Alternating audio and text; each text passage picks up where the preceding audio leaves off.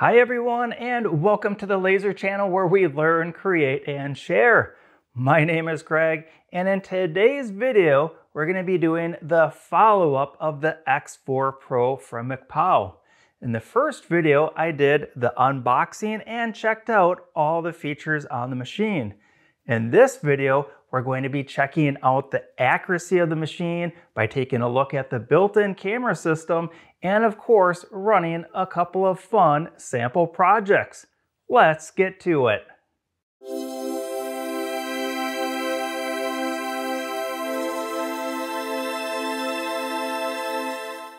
I started out already by connecting the machine up to the Lightburn software using the Auto Connect feature. It's very simple and very straightforward.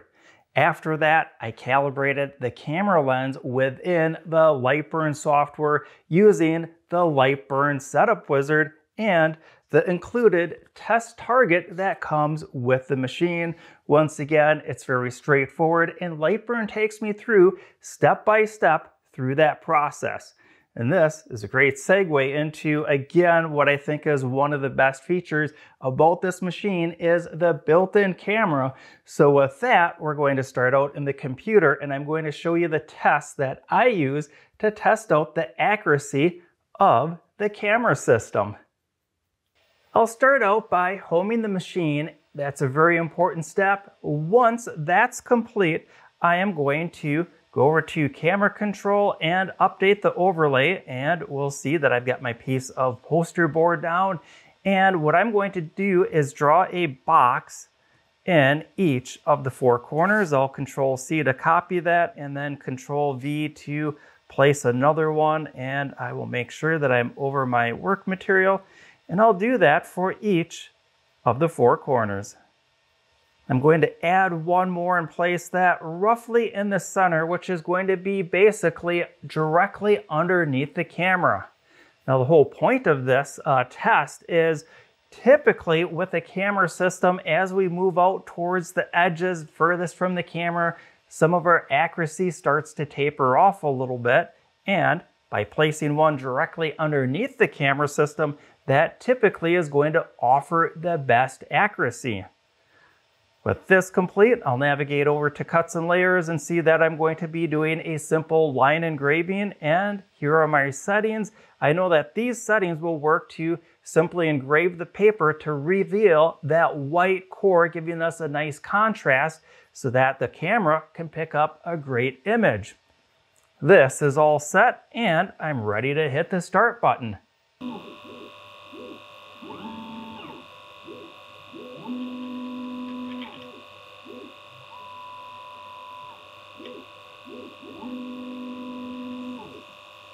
With that complete, I'll navigate back over to camera control. I'll update the overlay without moving anything inside of the machine.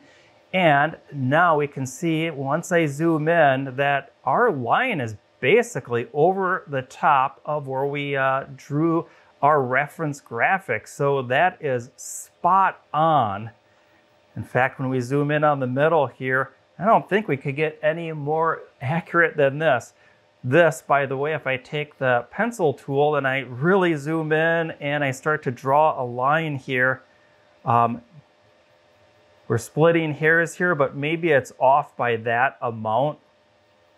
And once I click on that, we're going to see maybe 0.1 millimeters in the center and looks like it's going to be the same up in the corners of the machine as well.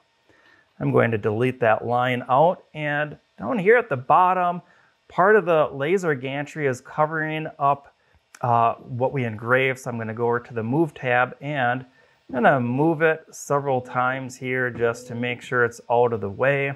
And I can update the overlay once again. And I'll zoom in and we'll see that, yeah, the line is inside the engraving. So let me know what you think in the comments. Do you think this is really good? Personally, I think it is, but if your opinion differs, I'd also like to hear that as well. This, I think, looks awesome though, and I'm ready to go on to the next accuracy test. So we tested the accuracy of the camera. Now I want to test the accuracy of the machine itself. And for this, I'm going to highlight all these little boxes and I'm going to delete those out. The home position of the machine is down here and what I'm going to do is draw a circle in the opposite corner.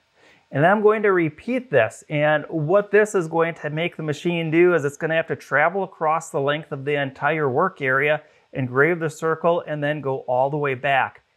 I'm going to repeat that again, making the machine go all the way over and do it again. And I want to see if those two circles line up on top of one another. I'll rehome the machine once again and update the overlay. I'll zoom in up in this corner here and I'm going to draw a perfect circle. That looks good. Actually, we'll make it a perfect 25 millimeters. I like the way that that looks. I'll hit the start button. Let's check out this next accuracy test.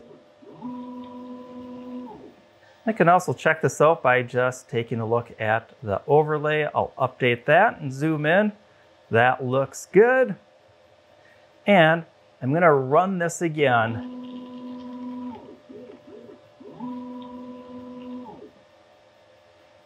I'll update the overlay once again. And you'll see that it didn't change at all it engraved exactly over the previous circle. In fact, I'm gonna grab the GoPro camera inside of the machine and we'll take an up close look.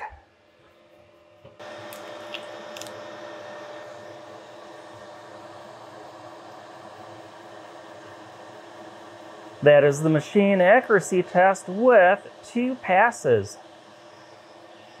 Now I can run this part of the test, make as many passes as I would like. And the reason why I run this test is it simulates if I was doing a cutout for a project and I didn't cut all the way through. I want to go back and add more passes, but I want to make sure that the machine is going to cut exactly over the previous line cut. And this test confirms that this X4 Pro from Mecpow will do exactly that. With the accuracy test complete, I'm ready to move on to the first of two fun mini projects. This first project, I'm going to utilize the flexibility of the camera so that I can reuse a piece of scrap material from a previous project. Having a camera system on a laser machine is a great way to maximize my material. And this material has been already pre-painted from that previous project. This material, by the way, is going to be eighth inch thick press board. Now don't let that eighth inch fool you. If you've used laser machines, you know that this hard press board can be very difficult to cut through, but the 22 watt laser on this X4 Pro will get through it quite easily with just a couple of passes. Now in just a minute, when I place my work material inside of the machine, I find for my best practices, I'm going to place the work material somewhere in between the camera system and the exhaust of the machine. This way, I get the best of both worlds. I get the great accuracy of having the work material placed very near to the camera, but I also get the safety of evacuating all the smoke produced by engraving and cutting this project because it's a bit closer to the exhaust fan. I'll get this placed inside of the machine now. We'll see when I put the work material inside of the machine, I really didn't make sure that it was squared up against the laser machine like I typically would if I was running without a camera system. And that's because with the camera, I know exactly where the work material is. Back inside the computer, I'll click on camera control, I'll update the overlay, and there's my piece of work material. We'll see off to the side here, I have a happy little tortoise. I'll be doing the engraving in black and then the cutout in blue. So I can grab my turtle, place them up here. In fact, I can utilize all of the work material and make this turtle a little bit bigger. Here we'll see that part of uh, one of his hands will be cut off a little bit. So I can rotate them around and I can maneuver this around until I get it just right. I think this looks pretty good. When I navigate back over to cuts and layers, we're going to see the fill layer.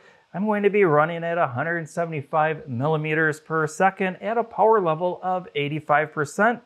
And the cut layer is going to be 8 millimeters per second at a power level of 90%. In fact, when I double click on the fill layer, we'll see that the line interval is going to be 300 lines per inch. And I'm going to fill all shapes at once. This looks good and I'll hit OK.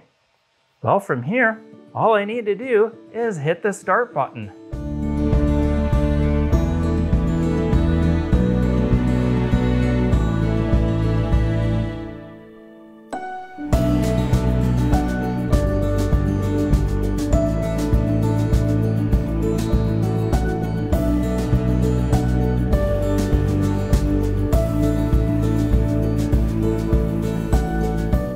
A little while later, and this first project is all done. Let's check it out.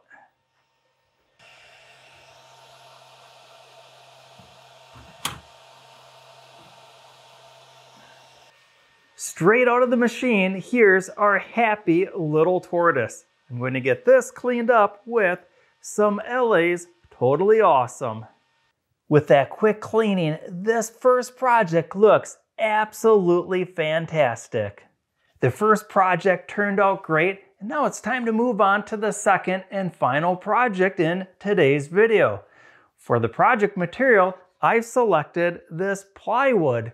This plywood is really thick, coming in at 3 eighths of an inch thick, and it's gonna really test the cutting ability of the 22 watt laser module in the X4 Pro.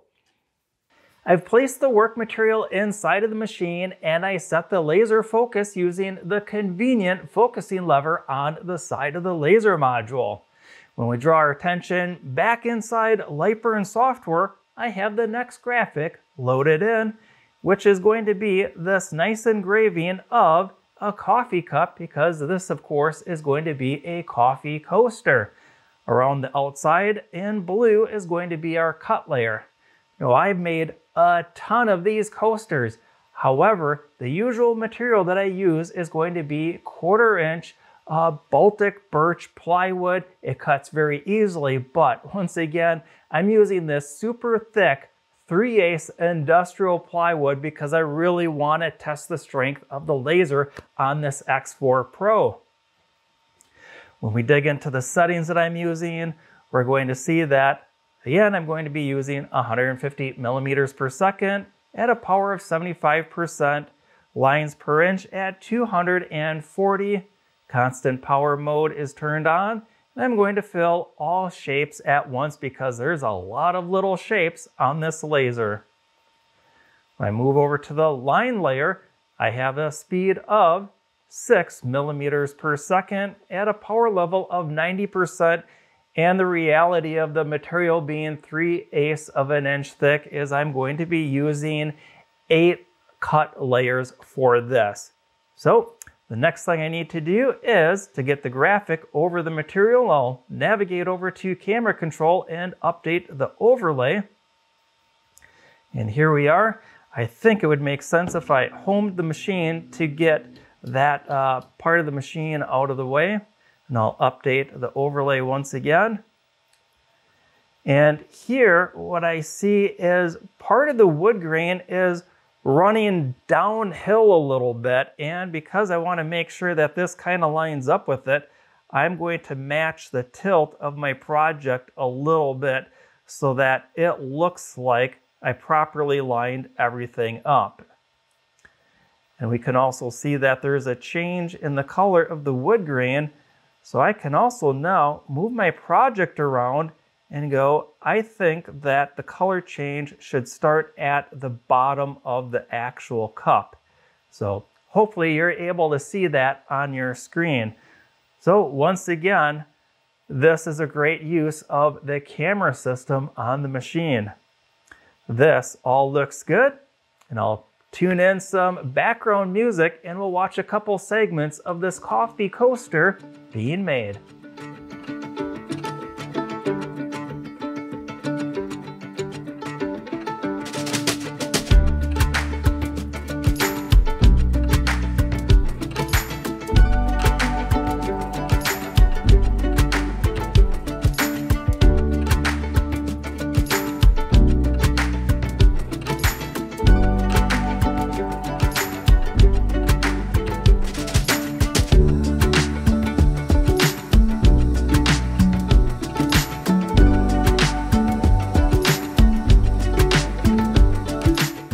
Second project is all complete.